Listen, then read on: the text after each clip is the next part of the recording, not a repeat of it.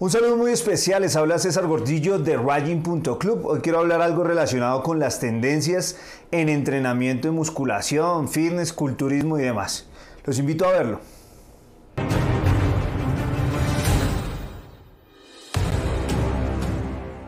Actualmente escuchamos hablar del ayuno intermitente, hablamos de, eh, escuchamos diferentes dietas relacionadas con la oxidación de grasa, entrenamientos que se dividen por ale, por empuje, por tren superior, por tren inferior y miles de métodos, técnicas y estrategias enfocadas a optimizar el entrenamiento.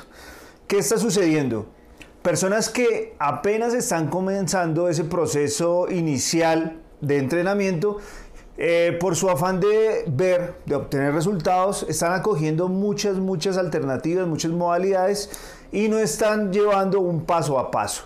Es muy importante comprender que debemos iniciar con un proceso de adaptación muscular. En ese proceso de adaptación se habrá un proceso de adaptación muscular a nivel interno, de, a nivel intermuscular e intramuscular.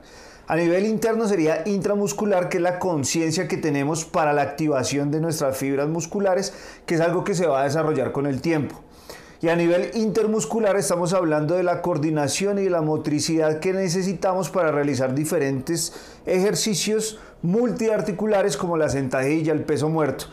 Esas fases iniciales son fundamentales y también se debe iniciar con un trabajo de musculación lineal, donde se manejen, por ejemplo, las cuatro series de 10 repeticiones durante un buen periodo de tiempo. Podemos hablar de por lo menos tres meses donde la persona esté realizando este trabajo de entrenamiento sin andar aplicando técnicas, estrategias o rutinas avanzadas que van a, no van a permitir que tenga un progreso. Debemos ir con calma, debemos hacer un paso a paso.